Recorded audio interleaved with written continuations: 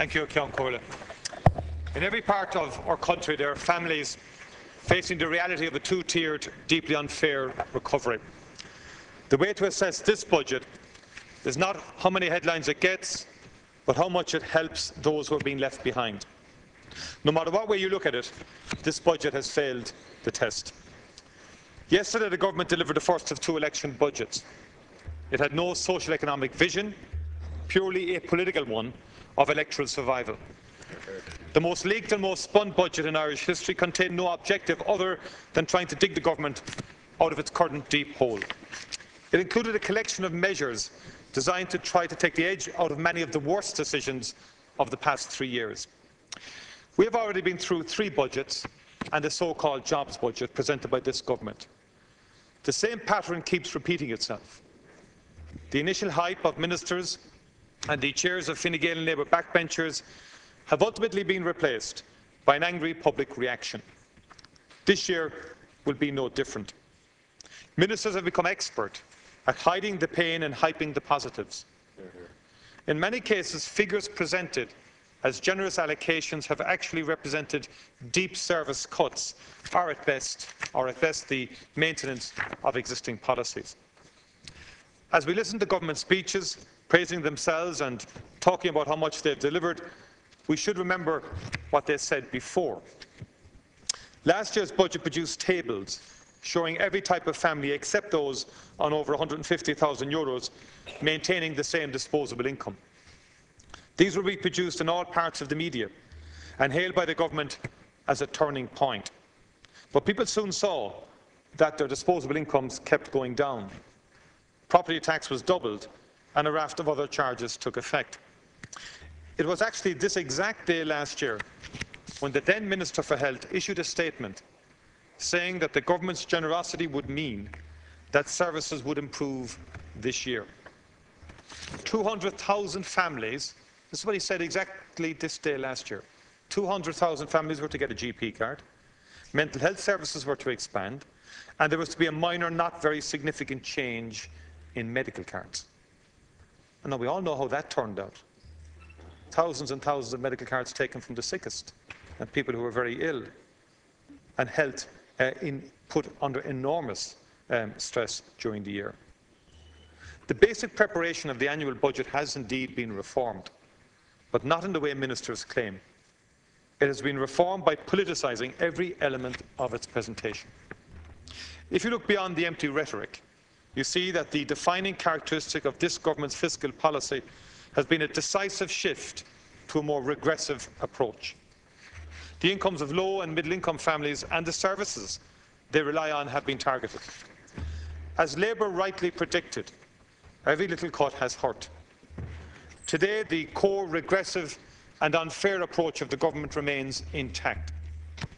Yet every budget of the last two years has been introduced with the claim that it was fair and protected vulnerable groups. We heard it again yesterday, and it is as untrue this year as it has ever been.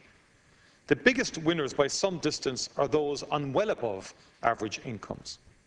Where a person on 200,000 gets four times what is given to a minimum wage worker, it is many things, but fair is not one of them. This is a budget dominated by immediate political concerns.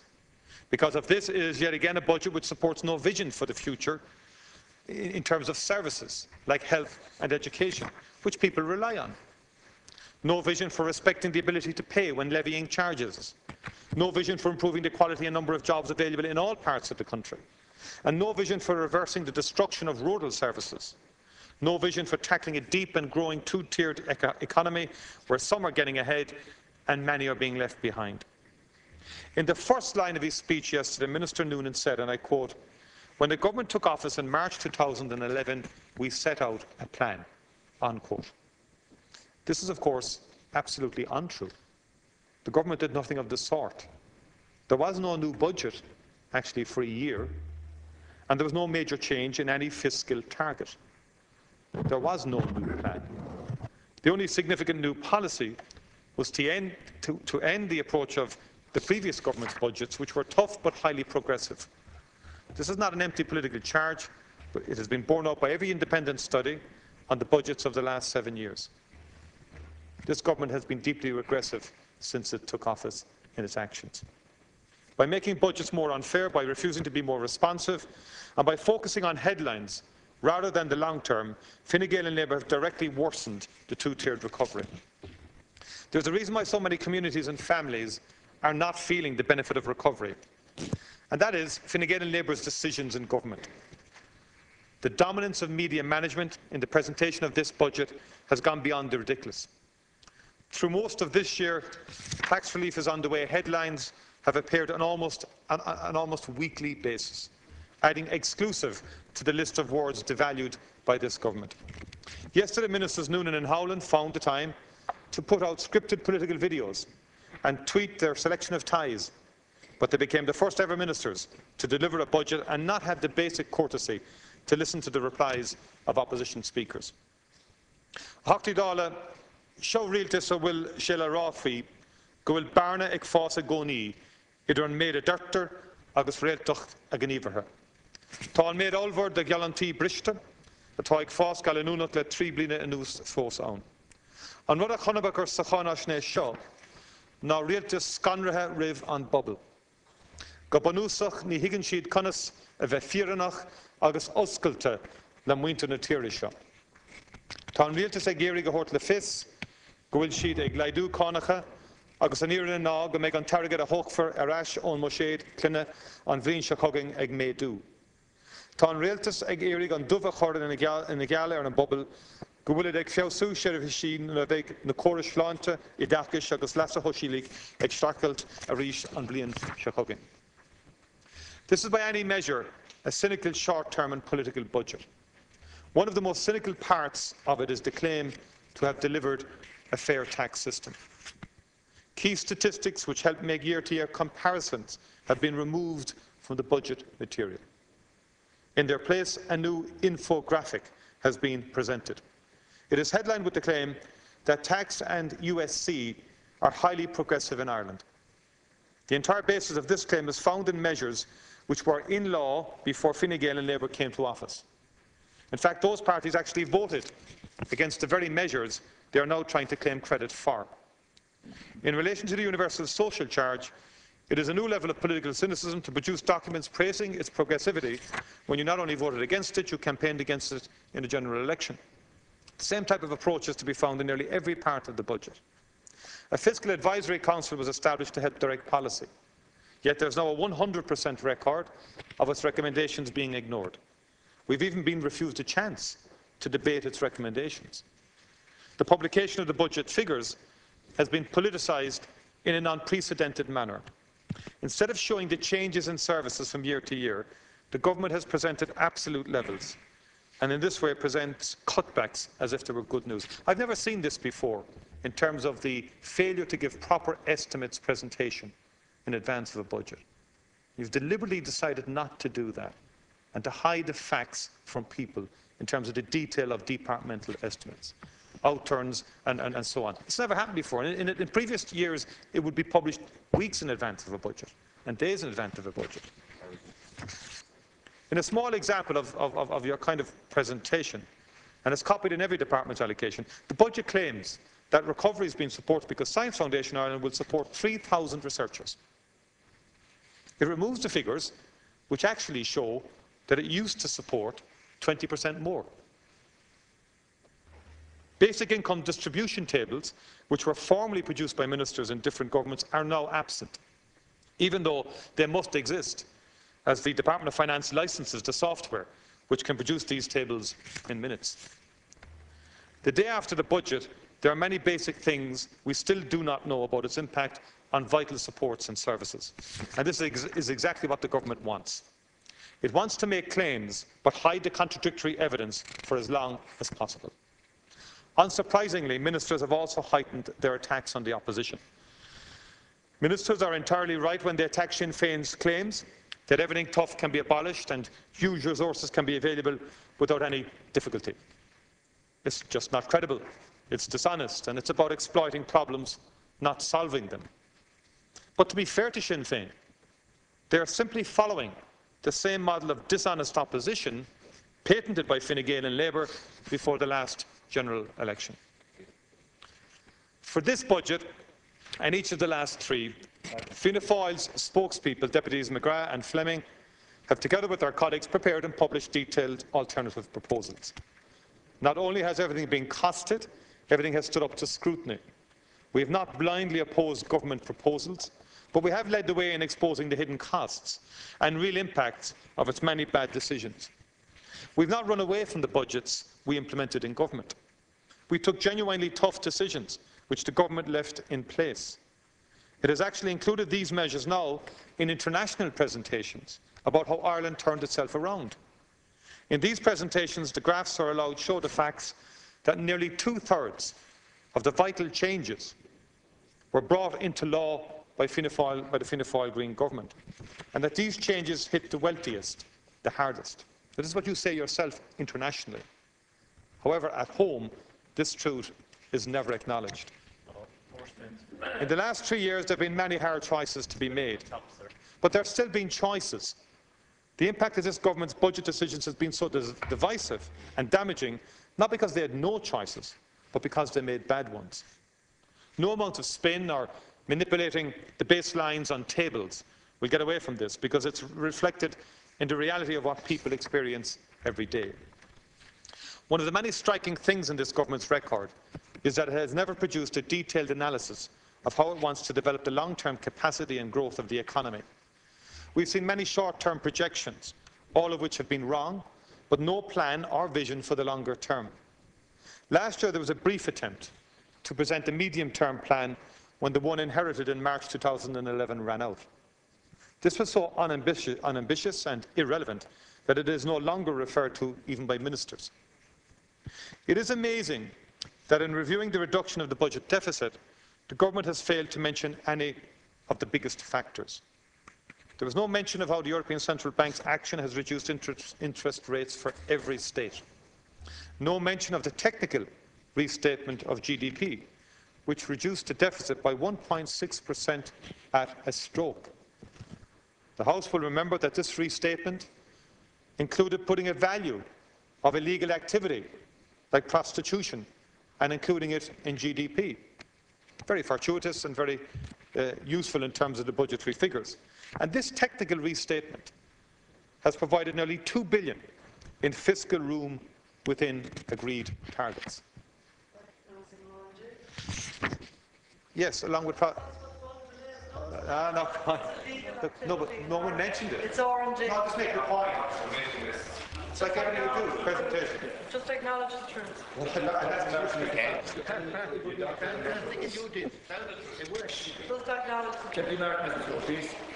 And in fairness to Deputy McGrath yesterday, he highlighted this and he pointed out that the government were fortunate in having, in having a technical restatement that provided 2 billion uh, in fiscal room.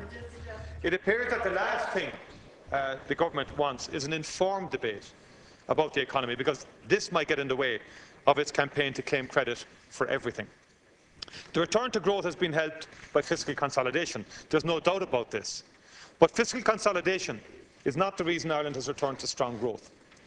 As the OECD has pointed out, the core growth potential of our economy is set by the skills and dedication of our people, together with an infrastructure which has radically improved from 20 years ago.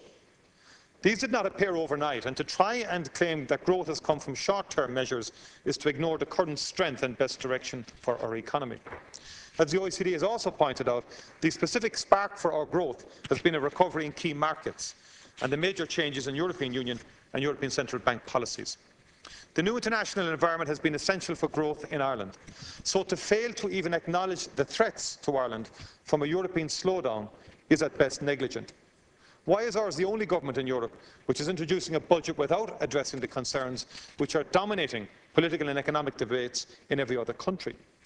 Instead of a considered vision for the future of the economy and the society it will support, instead of an approach which learns the lessons of the past, what we have got is a series of targeted election measures designed to have an impact for no more than a year and a few months. Just as public investment in skills and infrastructure has been central to past growth, it is essential to sustain growth into the future. They were mentioned in the budget speeches without any major initiative being announced. We cannot understand how the government keeps refusing to publish a development plan which sets out specific objectives for future investment. They're becoming ever more reliant on projects which address immediate political needs or were planned years ago. The small increase in public investment announced yesterday will provide only a small stimulus to the economy and does not represent any strategic commitment. 210 million in an economy the size of Ireland is not a significant stimulus. A larger and more ambitious public investment programme is required and it is possible. The most important part of this is that it would create long-term state assets which raise the growth capacity of the economy. It's not about a short-term fix. It's about doing something permanent to address the needs of our country. What we got yesterday was the re-announcement of many projects which were happening anyway, and new ones part-funded by allowing existing infrastructure to decay. For example, already announced projects to cater for increased school enrolments are to proceed, and this is welcome, but this is part-funded by cutting funding for minor works to maintain existing school buildings. Last year, the European Union agreed a series of measures to make capital funding available to member states. The Taoiseach told us it would bring billions to Ireland. It hasn't. The refusal of the government to plan for new projects or commit to co-funding means that we are missing major opportunities. The failure to present any analysis of long-term growth or even to plan, let alone fund a real public investment plan, programme, is a gaping economic hole. In this case, the road Minister Noonan has decided to go down is one where he has refused to bring a map. During the recent lead Labour leadership election, it was said that pushing Deputy Gilmore out was an essential first step to moving the government to the left. There has certainly been a move to the left in the rhetoric used to sell yesterday's tax changes. The hard substance of these changes is nothing but a continued confirmation of the dominance of Fine Gael's core right-wing beliefs. Yet again, the largest benefit, the largest benefit has been given to the highest income earners. That's the reality, Taoiseach. The largest benefit has been given to the highest income earners. The much-trailed clawbacks merely alter this slightly. A person at 200,000 will gain four times as much as a person on the minimum wage. That's the reality. You can dress that up whatever way you want, but fairness, it is not. And of course, for most people, what they will gain from the budget will be set against the new water charges they will, that they will begin to pay in January. Over the last three years, the Tánaiste managed the incredible task trying to manage the incredible task of talking like a left-wing dissident in her party while implementing an almost Thatcherite welfare policy. She cut two billion from the weakest sections of society and told people to simply get off the couch and look after themselves. She cut support for funeral costs and then talked about how high funeral costs were in Dublin as if people could shop around for better value. The overwhelming bulk of cuts all of which Labour promised to oppose when it was campaigning, remain fully in place. Child benefit remains five euros below the level which both Labour and Fine Gael said they would maintain. Because of the failure to give a proper, credible free allowance for water charges, the increase in child benefit could literally disappear as fast as a few extra flushes of the toilet each week. The promise to protect the most vulnerable remains broken, and Labour's leadership change has not delivered any significant change in policy on vital social supports. Many grand promises were made about childcare during and after the last election. We proposed a series in our budget submission, a series of initiatives to significantly help families with childcare needs. Unfortunately, the government has chosen to do the minimum possible and has pushed childcare off for another year. A feature of the two-tiered recovery has been the absence of high quality and secured employment for many. This budget does not set out a vision for tackling this. This is a big issue in terms of uh, developed e economies and developed societies. We've already been fully supportive of inward uh, investment. We've always been fully supportive of that. Inward investment remains strong in the toughest parts of the recession. Again, a factor not acknowledged. The areas identified as national strategic priorities a decade ago have delivered well for us, as has the investment in research which we made. The government has provided as little detail as possible on the announced changes to corporate tax rules. We are concerned that the government has moved so quickly to abandon its position that current rules are in order and that changes should only take place on a coordinated international basis. Why have we decided to move without linking the changes to similar ones in the, in the Netherlands and other countries which have nearly identical rules? Why has this change not been linked to a demand that the impact of bank-related debt be removed? Has the government formally abandoned a demand which Ministers Noonan and Howlin once said could be worth tens of billions to Ireland? We must continue to attract and support inward investment.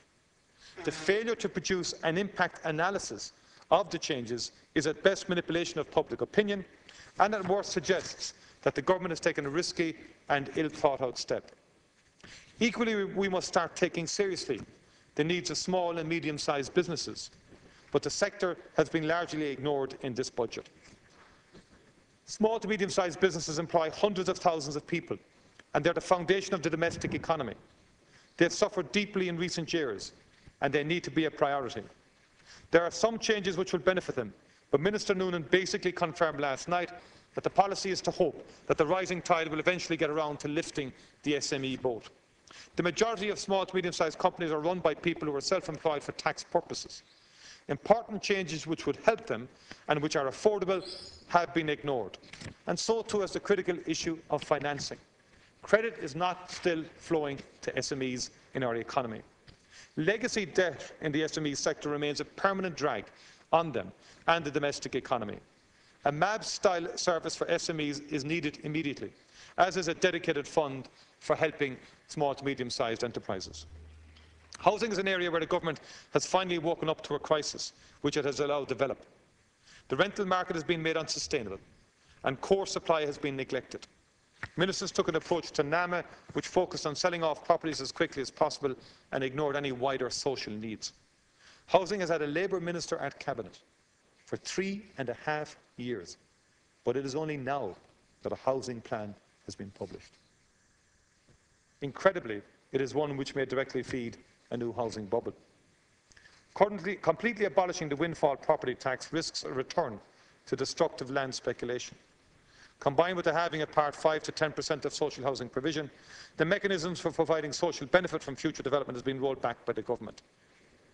At the same time, there are no measures for dealing with the problems faced by renters who will be excluded from the housing market by new central bank demands on savings.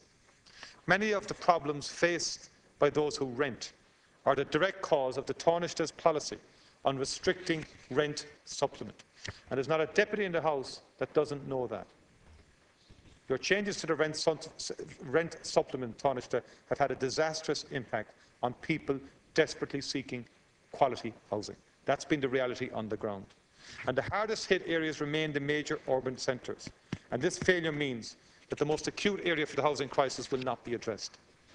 Minister Kelly has been very assertive in recent weeks in talking about housing in the media, while at the same time trying to keep his head down on the growing public anger about Irish water and its crumbling justification. When this Fine Gael idea was announced, the core rationale was that it would be incredibly efficient and charges would be simple. Yesterday, the government tried a last-minute rescue on the worst impact of the charges. It has failed. It remains a highly regressive charge which does not fully respect the citizen's ability to pay and is now one of the most complicated charges ever introduced. Once this budget is enacted, there will be four separate ways to assess the charges. Once it is collected, it will be used to fund a gold-plated bureaucracy, paying excessive bonuses and incurring costs which even the former minister who set, set it up now admits are simply unjustifiable. Deputy O'Dowd was correct. It has been an unmitigated disaster uh, in terms of the government's implementation and execution of the Fine Gael policy. It's the first budget since the reshuffle in which Taoiseach's main objective was to stop the complete implosion of the health system or at least to stop the health system damaging the government's electoral chances. Even though he and his colleagues cheered every step of Minister Reilly's work in health, he was made the scapegoat and a new minister was installed. This was to be the budget where he delivered a complete change in policy. It has not happened.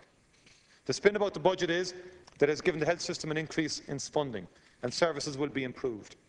Just as last year's spin was false, so too this year's will be exposed. The first thing which has to be said is that there is in fact no overspend in the HSE, and there was no overspend. The government ordered a certain level of services but refused to acknowledge the cost. You gave us a false and dishonest presentation this time last year on health. When the bill came, they expressed surprise and condemned the HSE management. It's been a shoddy spectacle. For next year, we are told that spending will be at this year's level. If this turns out to be true, and we may have to wait months to find out because of the way ministers now interfere in HSE statements, then what it will do is to maintain this year's rate of decline. Maintaining funding will not stabilise services because waiting lists are rising and the government itself says that 200 million is needed to deal with demographic changes. The health service Taoiseach is in crisis out there right now.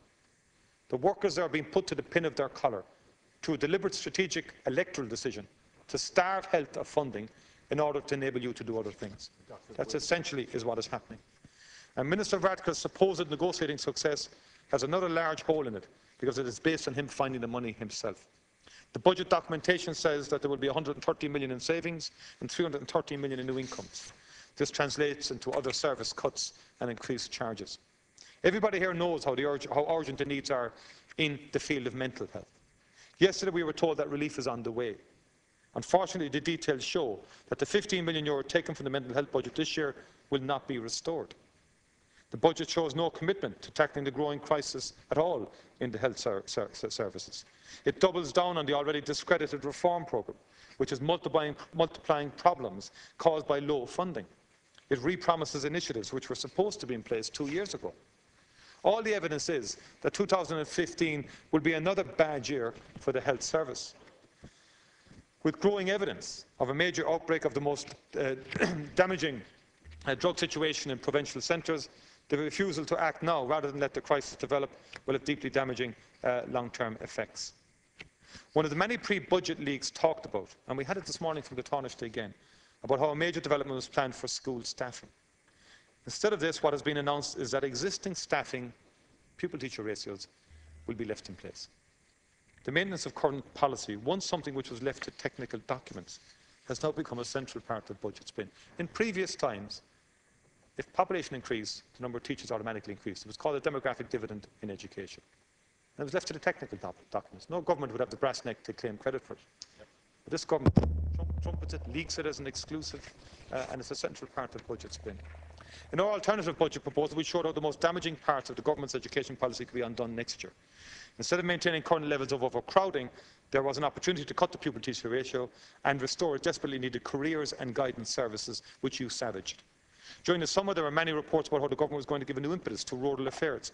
Yesterday, we discovered that it was yet another broken promise. The cumulative impact of cuts targeted at rural schools, hospitals, Gardaí and other basic public services has had a deep impact. In many places, the fabric of the local community has been threatened. In 2011, rural affairs was removed from the cabinet. It has been followed by three years of a difficult situation for rural communities, being made much worse by government decisions. It would have cost six million to reverse the damage to small rural schools that, that Ruairí Quinn brought in. But it was not a priority for you. It would have cost a fraction of the overall budget changes to restore proper rural policing, but again, it was not a priority. Rural towns need support and urgent intervention, and again, a little would have gone a long way. The failure to invest properly in the rural social scheme and putting off national funding, um, putting off national funding uh, and important farm income supports means that all farm families remain at the mercy of a malfunctioning market which is stacked against producers. This budget has been heralded by the government as a turning point, even more than the government had heralded last year's budget as a turning point. Because of a combination of factors, the government had the opportunity to open to it, to undo some of its worst decisions, and shape a recovery which could be felt genuinely by all. It had the opportunity to set out a vision for our economy and society and begin working to achieve it. It had the opportunity to make classes smaller, reduce waiting lists in hospitals, invest in infrastructure and support rural communities. It had the opportunity to show commitment to the future development of our public services. Instead, it decided to look to the short term. In the first of two election budgets, it has spread money around in a way that helps some but leaves many deep problems untouched. Today, the government continues to roll out its pre-packaged messages and announcements just as it did last year. But at a critical moment in defining the future of our economy, our public services, and our support for families and communities, the government has chosen the path of putting politics first. Because of this, because of this, it will come to realise sooner rather than later that the Irish people will not fall for the spin and complacency which Fine Gael and Labour are today so proud of.